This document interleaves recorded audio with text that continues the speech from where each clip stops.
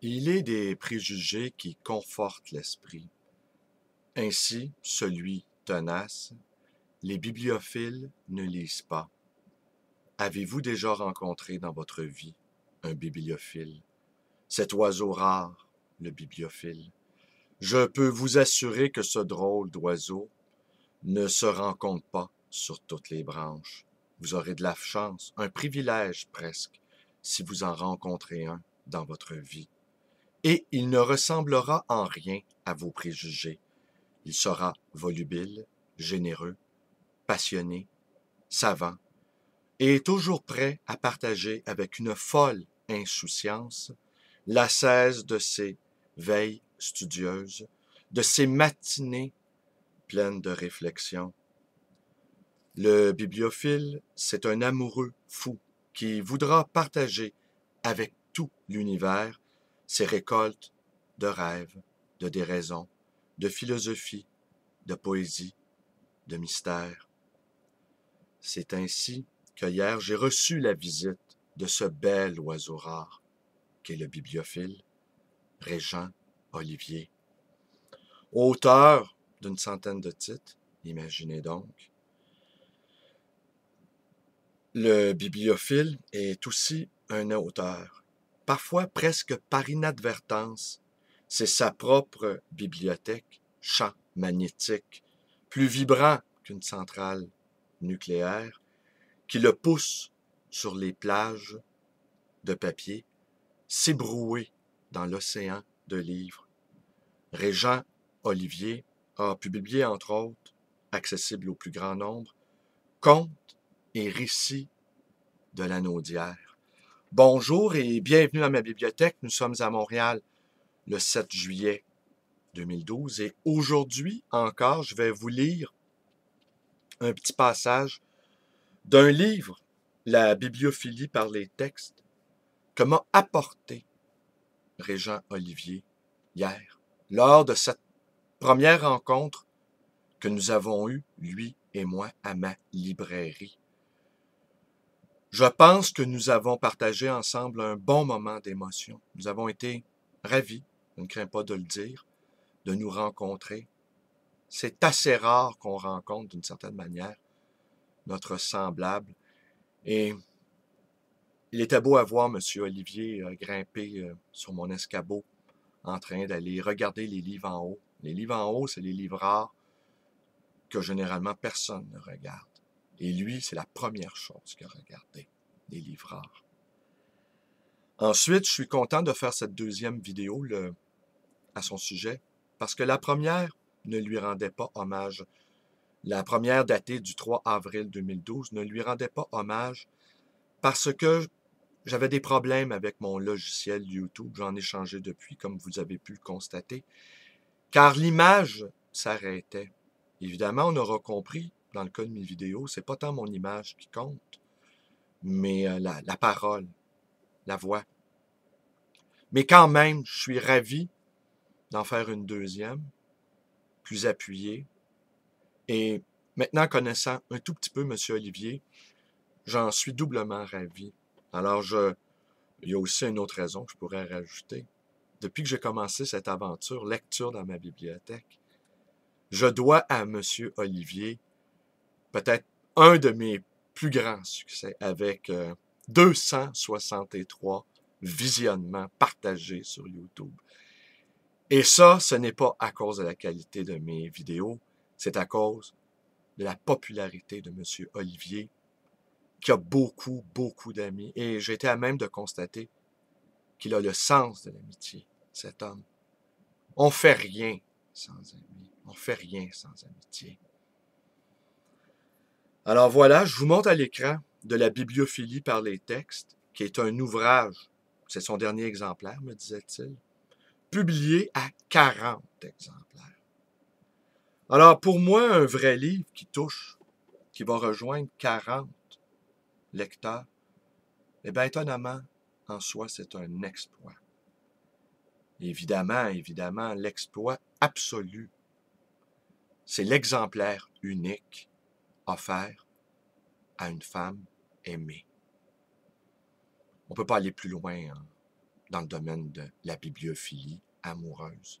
Un exemplaire, hors commerce, relié, si possible, de belles factures, avec des textes écrits spécialement pour une femme aimée. Bon, ça c'est l'absolu définitif. Mais 40 exemplaires, laissez-moi vous dire selon les canons de la bibliophilie, c'est infiniment peu. Et je suis ravi de le posséder. Et il m'a écrit ici, je vais vous lire la petite, euh, le petit autographe, l'envoi, et non pas la dédicace comme on le croit trop généralement. La dédicace, c'est imprimé. Alors ici, c'est manuscrit.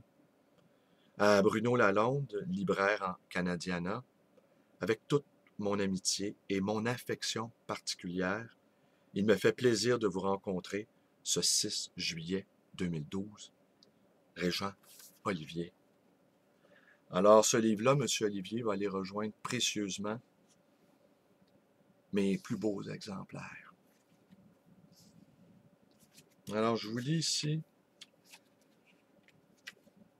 ma librairie particulière. Ah oui, attendez, attendez. Je vous ai dit qu'il y avait 40 exemplaires. Oui, oui, oui. Je ne vous ai pas dit cependant la date.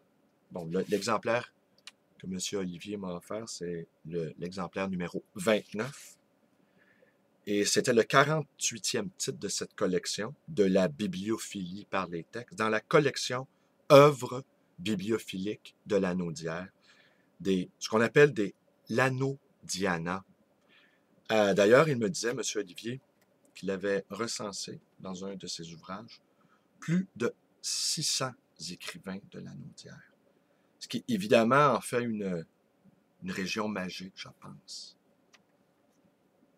un pays qui, euh, qui, a en son sein autant d'écrivains, ça ne peut pas être un pays qui n'a pas de valeur. Alors, l'exemplaire en question était achevé d'imprimer en, en mai 2001. Que l'on ne se méprenne pas, il n'est pas du tout question de librairie au sens contemporain du mot. Il s'agit plutôt de librairies particulières, comme l'entendait Michel de Montaigne, 1535-1592, au XVIe siècle. Ce dernier avait dans son château une tour qu'il avait convertie en bureau de travail et en bibliothèque, un peu comme l'a réalisé plus tard Louis-Joseph Papineau dans son manoir de Montebello. Montaigne avait appelé cette tour sa librairie au sens latin Liber, Libris, livre. Là, il composa ses essais, qui l'immortalisèrent, et il étudia les grands auteurs, surtout Socrate et Caton, qu'il admirait beaucoup. Or, dans sa librairie personnelle, Montaigne méditait, philosophait, pensait, lisait et écrivait. Il inscrivait aussi des pensées sur les poutres, c'était pour lui un lieu de travail où la quiétude et la tranquillité, la sérénité et la paix envahissaient son âme et lui permettaient de penser. Penser est un grand mot. On dit que c'est le propre de l'homme. Or, Montaigne avait trouvé un endroit pour philosopher et il l'appelait sa librairie. Sans vouloir me comparer à ce grand philosophe et moraliste français, j'ai, moi aussi, un lieu de travail privilégié où je puis me retirer et penser. Ce n'est pas aussi élaboré au point de vue architectural que ne l'étaient le château et la tour de montagne, mais je puis dire que j'ai un lieu choisi où je puis lire, écrire, consulter ma documentation et élaborer des dossiers qui pourront un jour être utiles à l'ensemble de ma région dans le centre de la ville de Joliette, où le bruit et l'activité bourdonnent, il y a, au fond de ma cour, en face d'un pittoresque grand parc, le parc La Joie, un petit garage que j'ai décoré à mon goût. Là, je puis me retirer et oublier complètement les allées et venues de la grande ville, la verdure environnante et le grand air pur ainsi que le sable beige de la cour me font facilement croire que je suis en pleine nature dans cette campagne française ou québécoise et que je puis profiter amplement de chaque moment du jour. Et pour mieux me situer, je n'ai qu'à relire, assis dans ma vieille perceuse, en face de la porte de ma librairie, le livre d'Albert Laberge, quand chantait la cigale, alors je me sens aussi heureux que celui-ci dans son château gay natal, ou que n'importe quel naturaliste dans son grand univers. D'aspect plutôt sommaire, ma librairie présente un revêtement extérieur de couleur rouge foncé. Une porte peut demeurer ouverte durant l'été pour faire entrer l'air du parc. Une fenêtre à douze carreaux laisse voir les arbres fruitiers, pommiers et prumiers, ainsi qu'un lilas que j'ai planté il y a une quinzaine d'années déjà. En face, j'ai semé une douzaine de tournesols qui donneront dans quelques semaines de grosses fleurs jaunes comme les aimait Van Gogh. Si on entre, on est vite surpris par la surcharge de documentation, livres, dossiers et fichiers qui encombrent presque complètement la pièce unique. Mais on distingue vite une table de travail avec des fichiers et une machine à écrire qui semble vibrer presque quotidiennement sous les doigts du bibliographe. Au fond des boîtes de livres, toutes numérotées, en entrant à gauche, un grand bahut en bois qui supporte des dizaines de boîtes de livres. À droite, une belle armoire québécoise remplie à craquer de livres. Ces quelques meubles donnent à la pièce une atmosphère surannée. Sur deux tablettes, au fond des dictionnaires, des ouvrages de consultation, bibliographie, catalogues et autres instruments de travail utiles à une test bien faite. Au fond de la table de travail, deux rangées de fichiers qui contiennent plusieurs milliers de notices et qui semblent attirer l'œil du chercheur ou du bibliographe. En un mot, ma librairie particulière est mon petit coin de travail, où, même durant l'hiver glacial, avec une chaufferette d'appoint, je puis me retirer loin des bruits quotidiens. Tel est, décrit de façon bien sommaire, mon lieu de méditation particulier, où le bénévolat joue une part importante et où le ressourcement intellectuel m'amène souvent à penser à nos auteurs régionaux, à nos artistes, à nos compatriotes et à tous ceux qui ont illustré d'une manière ou d'une autre notre belle région de la Naudière. Là, je puis réellement communiquer en pensée avec eux et je puis essayer de livrer à mes semblables les grands faits et gestes que chacun de mes proches a accomplis pour faire notre grand et beau pays du Québec. Merci à mon épouse, Yolande Pelletier, pour son, pour son labeur inlassable, favorisant ainsi mes temps de ressourcement et de travail. Et eh bien voilà, c'était Régent Olivier. Alors, euh, ça m'a fait plaisir de faire cette lecture à nouveau. Eh bien, c'est tout pour aujourd'hui. Je vous remercie d'être avec moi. Mes vidéos vous plaisent, bien, vous connaissez la suite. Vous pouvez vous abonner à ma chaîne YouTube, B. Lalonde Vous pouvez également devenir un militante, un militant Facebook en vous joignant à ma page.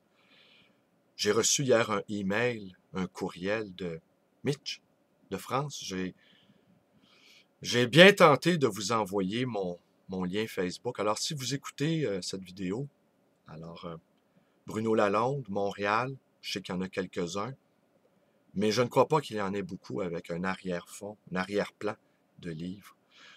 Alors, je vais quand même tenter encore aujourd'hui, avant de partir en vacances demain, de vous envoyer un lien. Aussi, vous pouvez me téléphoner à cette librairie, le livre euh, Voyageur, librairie d'anciens et d'occasion, située dans le quartier Côte-des-Neiges, au 514-736-0999. Librairie qui euh, a beaucoup, beaucoup, beaucoup souffert de la grève euh, désirée tout de même des étudiants et qui, là, depuis deux jours, souffre de travaux majeurs qui ont lieu dans, dans sa rue, un bris, un bris d'aqueduc. Je n'ai plus d'eau depuis deux jours dans ma librairie. Enfin, évoque la galère. Merci et bonne journée.